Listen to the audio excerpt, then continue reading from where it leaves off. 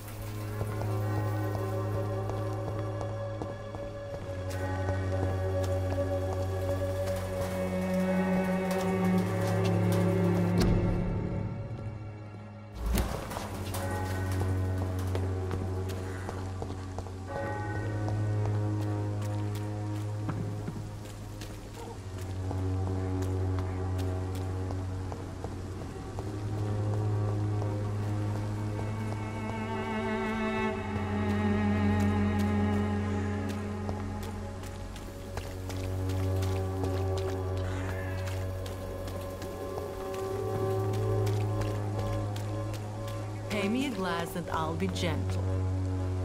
You are blinded by your Don't be shy, handsome. What can Christina do for you? I'm not looking for what you're selling.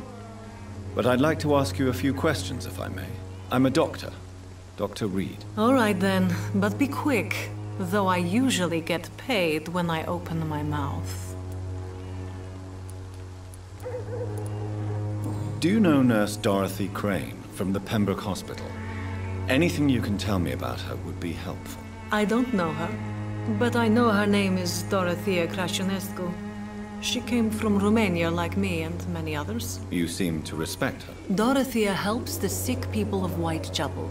Everyone should respect that. Goodbye, miss. Take care of yourself as best you can.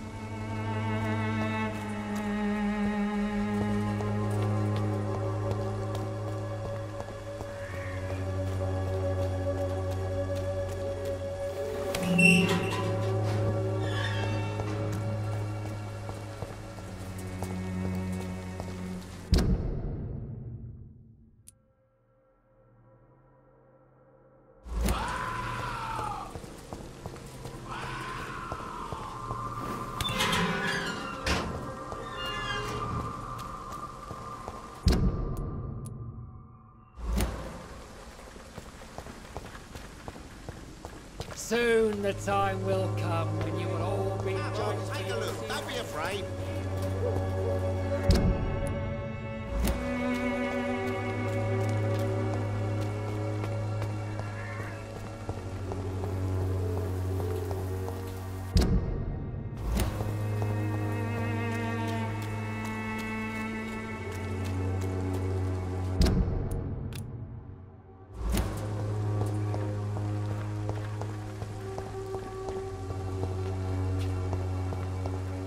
Effectiveness has been proven by many.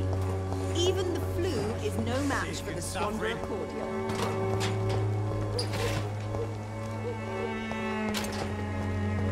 The wet boots will be proud of me.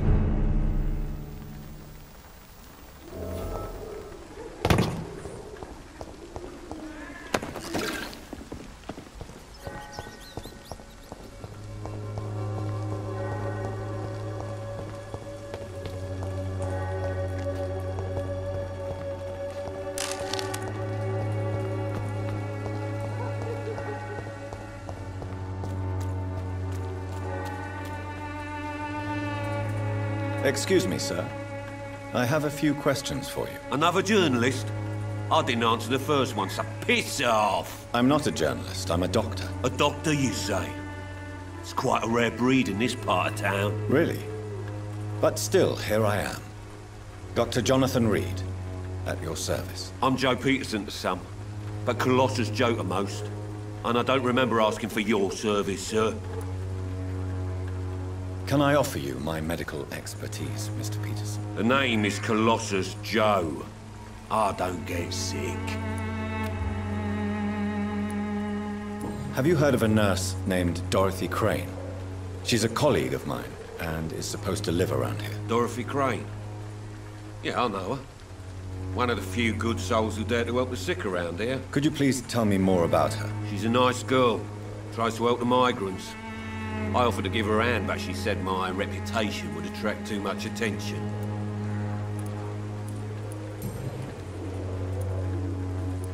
May I ask what you do around here? I do whatever I want, and sometimes even more. Now sod off. Goodbye, Mr. Peterson.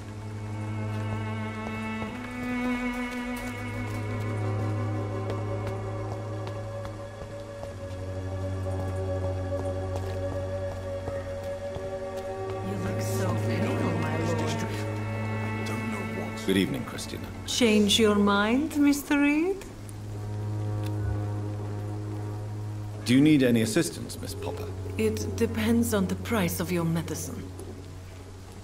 I am shocked that you would think I am that sort of man. Forgive my suspicion. I'm so used to liars with good manners. Thank you, sir. Goodbye, miss. Take care of yourself as best you can.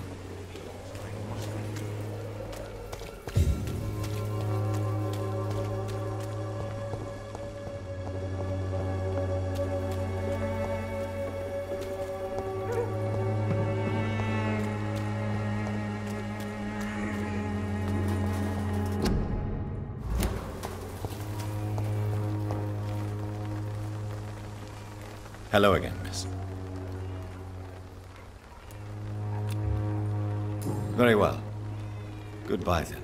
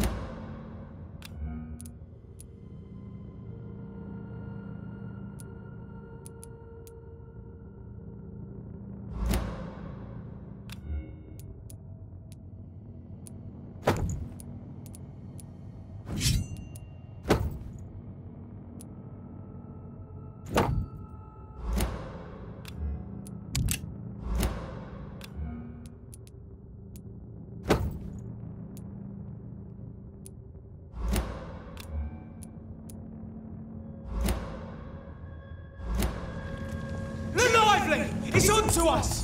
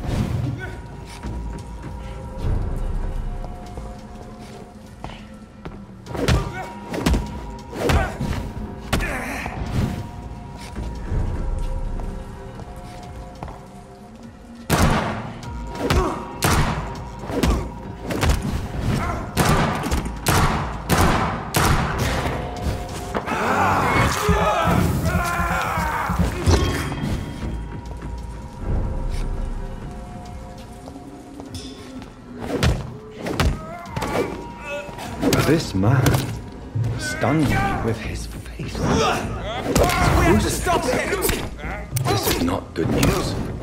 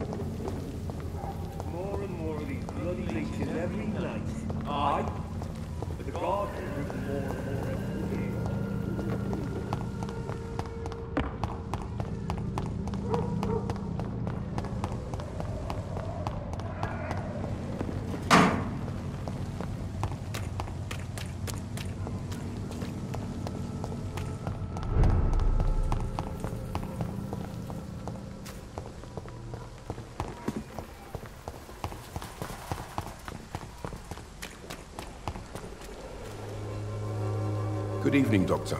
Can I help you? Do you need assistance? That would be nice of you, Doctor. Who knows what I may have caught during my investigation? If you persist in investigating the most pox-ridden boroughs of London, you must accept the risks. Thank you, sir. Goodbye, Mr. Darby. Farewell.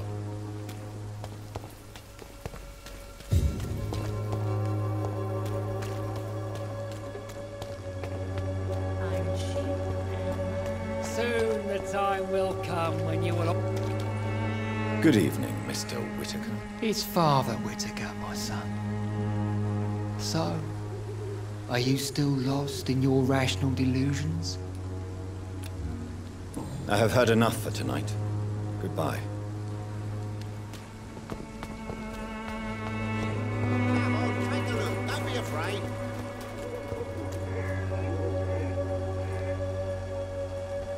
Welcome, sir. Uh, Please take a browse of my wares. I am Dr. Reed.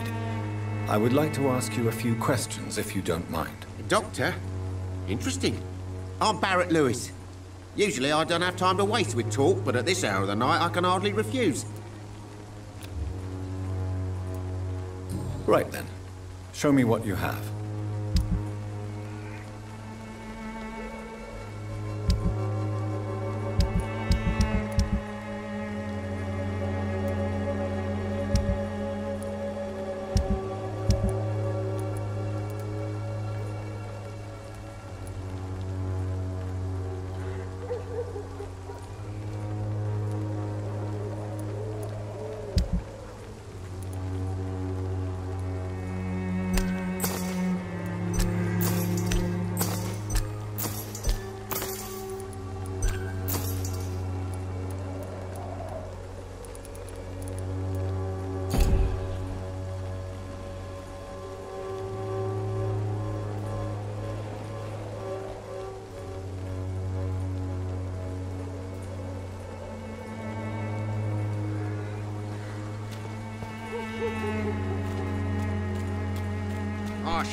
Never have taken up my father's.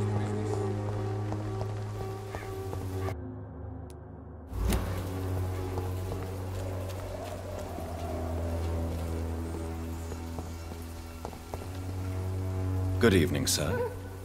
Do you remember me? If you're here for a reward, you'll be sorely disappointed. But I'll gladly shake the hand of a fellow countryman. I'm not here for a bounty. I'm a doctor. Dr. Reed from the Pembroke. Doctor?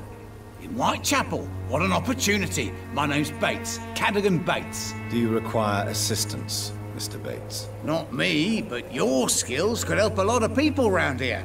That would help my business, because I say a live tenant's a paying tenant.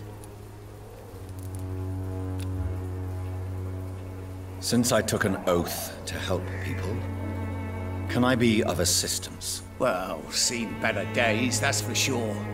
But it was bound to happen with all these refugees about.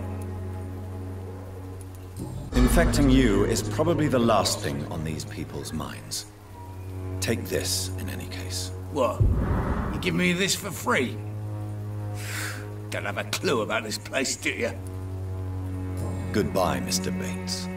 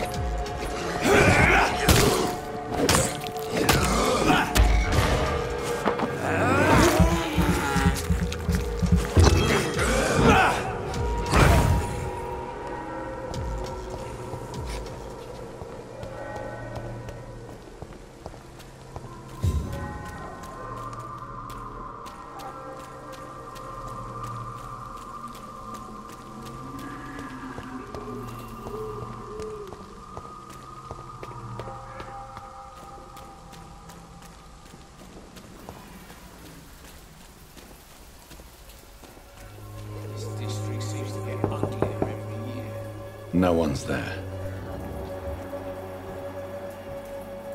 Maybe it's time to see if this Stevens working nearby.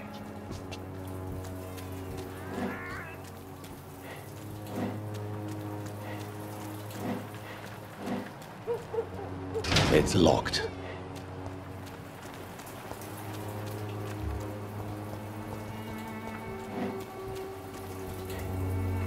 Mr. Bates. Evening, Doctor. Goodbye, Mr. Bates.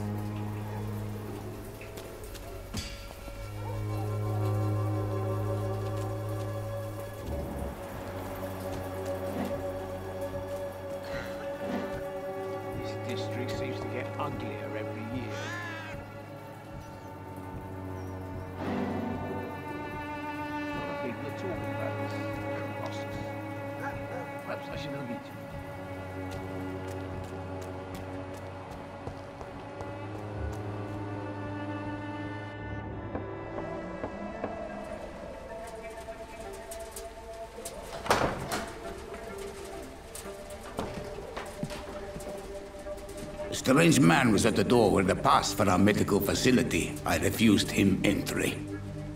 Darius, how could you know he didn't need our help? His clothes were too finely tailored to be from Whitechapel. Perhaps just a friend of that stray poet who is always about.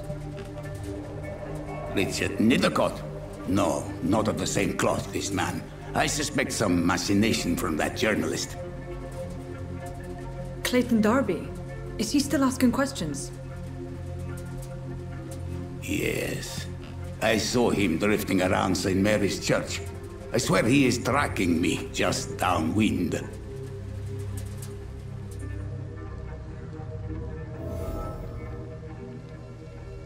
I must talk to that journalist or the poet. They must know about Darius. Nearby the church they just mentioned.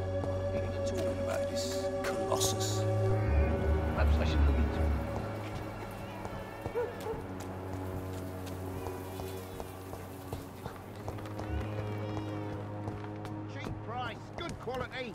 Come on, take a look. Don't be afraid.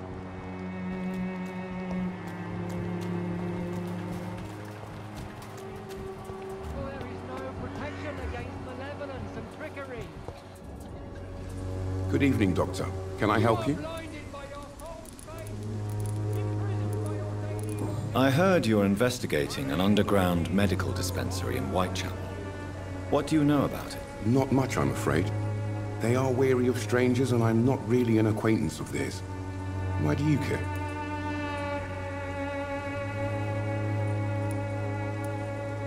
I'm a doctor, Mr. Darby. I care about everything involving public health and this epidemic. Are you sure you're not just concerned about the repercussions that a scandal involving a certain Nurse Crane from the Pembroke Hospital would bring? Without a doubt, you are a damn fine journalist, Mr. Darby. What do you know of her accomplice, a man named Darius? I don't know much about the man. He's very cautious. Never goes out. Doesn't seem to have any friends or family. He never goes out? No. A few days ago, he unexpectedly did. I followed him, but it was just a ruse to keep me away from his house. Really?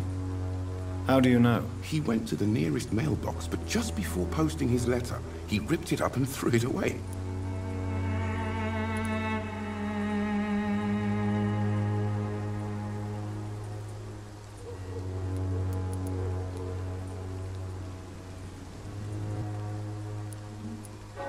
He has no relatives at all? No. Except for that strange man, a poet named Richard Nethercott, who sometimes comes by. Darius would never let him in. Where can I find this Mr. Nethercott? He spends most of his time lurking around Whitechapel, talking to himself or declaring verses. These days, you can usually find him behind the church.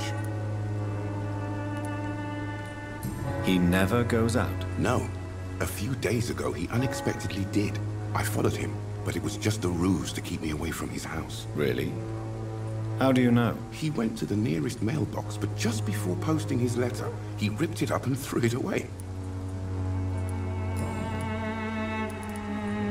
Goodbye, Mr. Darby. Farewell.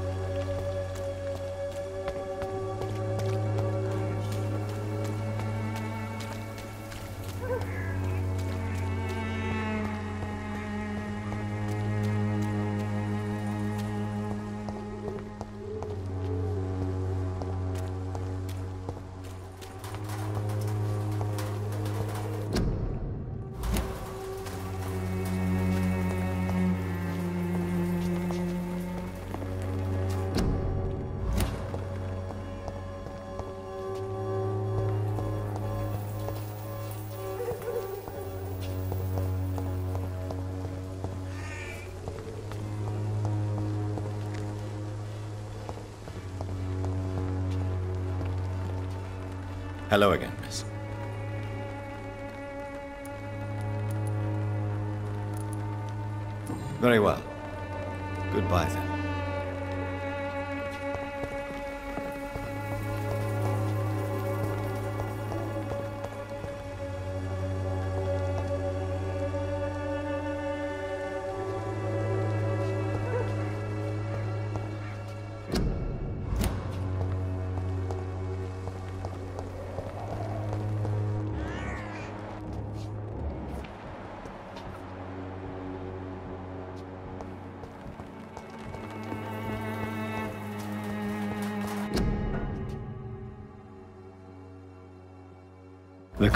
Of Darius' letter to his children could give me more leverage to enter.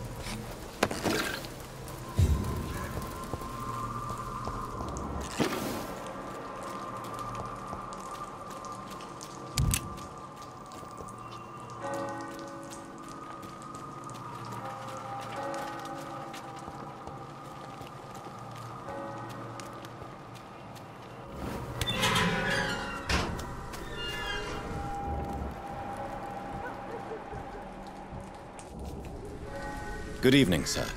I'm Dr. Reed. I would like to ask you a few questions. Please be my guest. Although I may not be the best informant regarding this part of town, my words speak about that which the eyes cannot see. Really? Are you an artist of some kind? I'm a poet, sir. Richard Nethercott, at your service. Do you need medical attention, sir? It may be wise to let you prescribe me something. I don't feel like I should. I understand your appetite for words and macabre beauty, sir. But you should be more careful. The nutrition of my mind is more important than my physical health. But I appreciate your concern, sir. May I ask you a few questions about the district? Extraordinary part of town, is it not? I'll be glad to help you, if I can. What can you tell me about an old man called Darius? Darius Petrescu? Yes, I know him. At first, I thought he was only a small publisher. I invited him to publish my work, but his reaction was pretty clear. Not interested in your talent? Darius is an old political activist who takes delight in printing tracts and lampoons. Those communist activities only require mediocre writing skills. I'm looking for Dorothy Crane, a nurse who lives in this vicinity. Dorothy Crane. Oh, I love the name. The Crane of Whitechapel. Sounds very mysterious. But, sorry, no, never heard of her.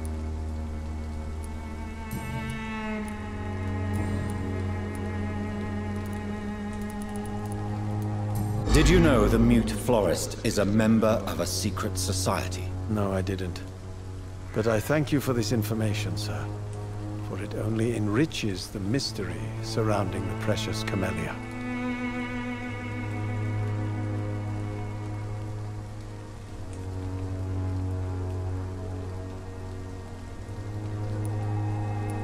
Are you not curious? Is there not more you wish to know? That girl has not an ounce of malice in her. Whatever she may be hiding, it's certain to be for the benefit of most, if not all. I fear you are a hopeless romantic, Mr. Nethercott. Guilty as charged, Dr. Reed. Tell me, Mr. Nethercott, why seek inspiration in Whitechapel? The place is not beautiful per se, but uh, how to explain it? Stirring and challenging. In what way, exactly? The struggle by gaslight, the barren smiles and the added hunger under the rain. If you say so. Such vibrant antagonism and vivid paradox, the stripped humanity raged across each street. Vivid, of course, yes. And what about the poignant distress? Oh yes, the poignant distress. You see what I mean, don't you? That's what I want to write about, and that's what Whitechapel is made of. Do you not think it a little morbid? On the contrary, sir. Whitechapel is full of life, full of beauty. Just like my dear muse, the wonderful Camellia. What can you tell me about Camellia? Not much. And that's the beauty of it. She can't speak, you know. She's a locked mystery who exhales kindness and sweetness. Perhaps you're just afraid to find out the truth about your muse. One day, perhaps, I'll ask her to come with me. But ah, will she still be my wild flower of Whitechapel if she moves uptown? And have you ever tried to learn more about her?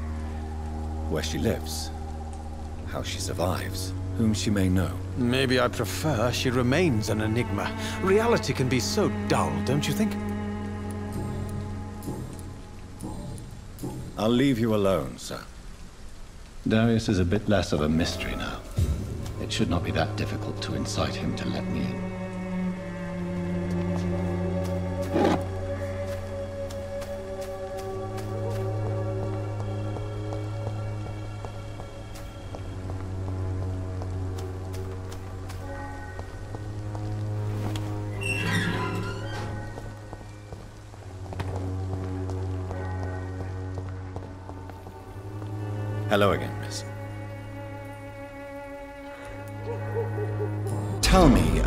Richard Nethercott.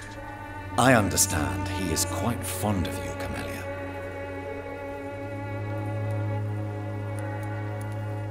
Very well. Goodbye then.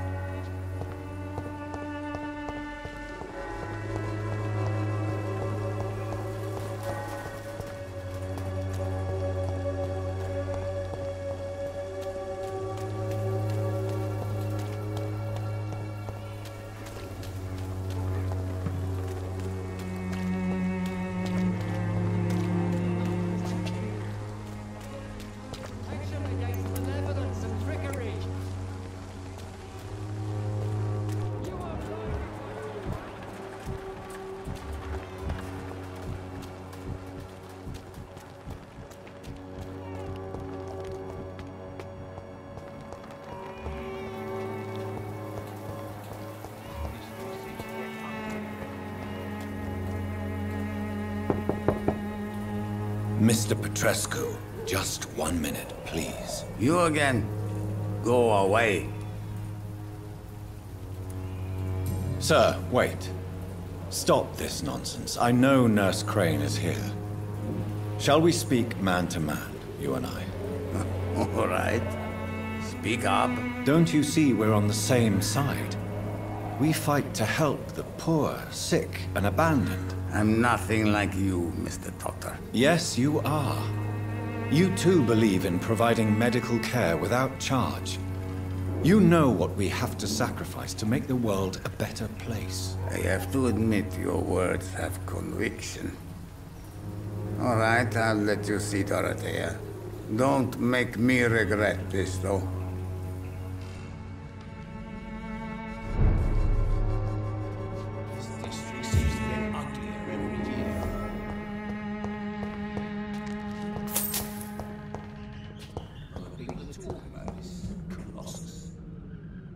Want to talk to Dorothea, you must go across the courtyard and take the stairs. We've not been formally introduced.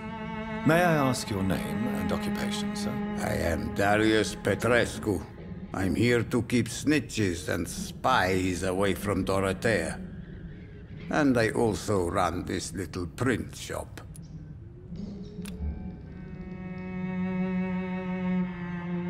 Do you need some help, Mr. Petrescu? I am very tired, but that is all. I don't need you, Doctor. Well, I think you do. Take this, and you'll feel better. Free drugs from an English doctor. it must be my lucky day. Goodbye, Mr. Petrescu.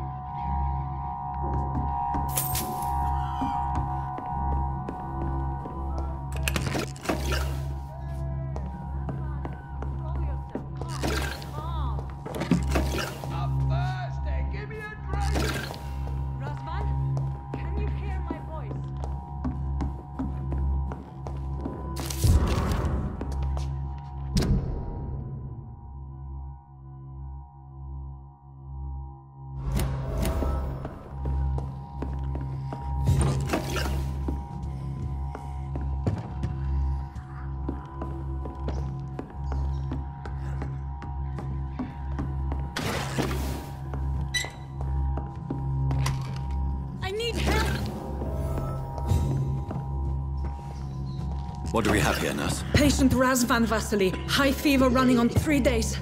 Complaints of dizziness, muscle aches, and head pain. Diagnosed with influenza. Treatment? Aspirin and salicin for the fever and discomfort. Liquids for dehydration, but he's having trouble keeping even water down. Aspirin and salicin, you say? Why not some warm milk and a kiss on the cheek? Where are the quinine salts? Tried buying, borrowing, even stealing. There's none to be found, Doctor. He's not convulsing, he's choking. He's not getting any air. Scalpel! Hand me that scalpel! What can I do, Doctor?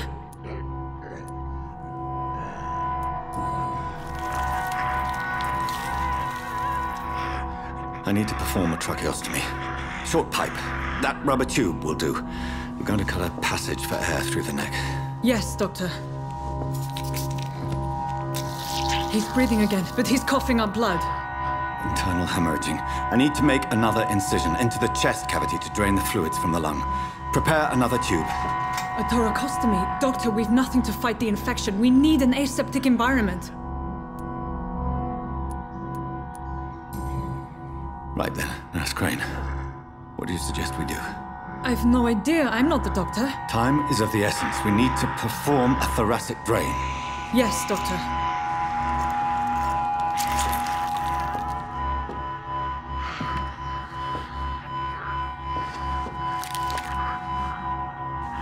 He's still bleeding, Doctor. I'm losing his pulse. The drain must have punctured the intercostal artery. There's too much blood. Are you all right, Doctor? I... I can't see.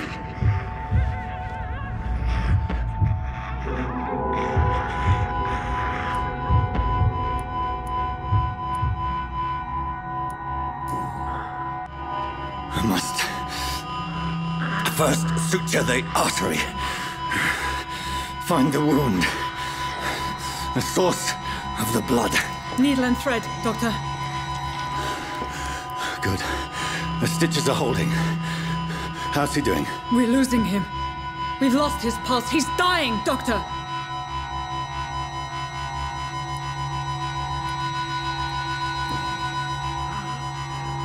A dose of epinephrine, now. Yes, Doctor.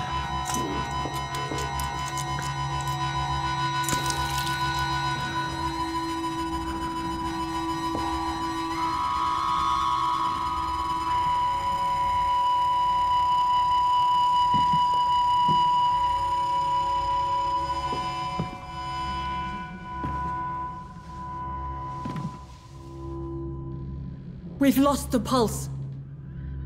He... he's gone, Doctor. Nurse, we did everything we could. Truly? Everything you could.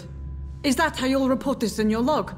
Is this how the war went? Piling up one poor corpse beside the next? This was not an influenza-induced seizure. I've never seen symptoms like these on the continent. Neither have I. But the previous symptoms leading up to this attack were the same, indistinguishable from the epidemic. No. There was something more vile in these reactions. Something... primitive. There have been numerous reports of mental breakdowns caused by the fever that accompanies the flu itself, Doctor. Yes, but... I'd best take some samples of the blood for analysis.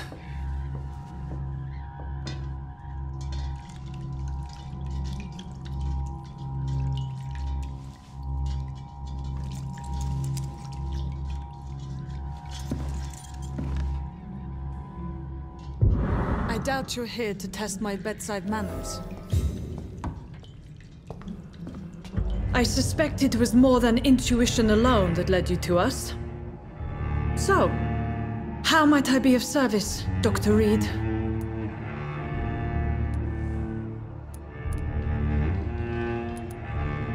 Your heart might be in the right place, but you can't carry on with this blackmail.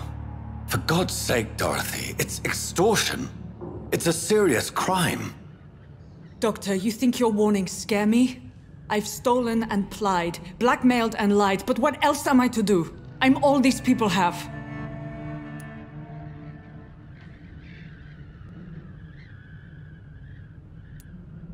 So, the end justifies the means. Is that your defense? I know you're kind, Doctor. Just another fine-heeled, silver-spooned gentleman who was given the world on a platter. You know nothing of poverty. Nothing of the shame, the hunger, the loneliness. But why Lady Ashbury? Why her, of all people? She's pristine and proper, all right. But that she-wolf in sheep's clothing murders the poor for sport. I have her where she belongs, and I'll milk her for all she's got. Dr. Swansea is a sensible and honest man. He wouldn't have refused your friend's care at Pembroke. It's easy for you to say, Doctor. These people cannot go to the police, nor to the hospital. They don't even speak English. They depend on me for everything. You've convinced me of the sincerity of your actions and their noble justifications. But all the same, blackmail is a crime, and it will stop, Nurse Crane. So, are you going to turn me over to the authorities?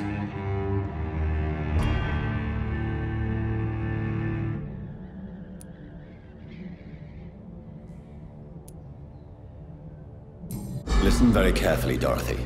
You will erase from your memory everything you pretend to know about Lady Ashbury and Pembroke Hospital. Let that rich bitch off the hook over my dead Nurse body. Crane, enough. Listen as if your life depended on every word. I know you've a generous heart who gives freely to those in need, but you shall walk away from the shadier streets of your business. I will never abandon... Dorothy, the discussion has come to a close. Your clandestine activities in the Resistance are over. Let it go. I'll... I'll let it go. Yes. All gone.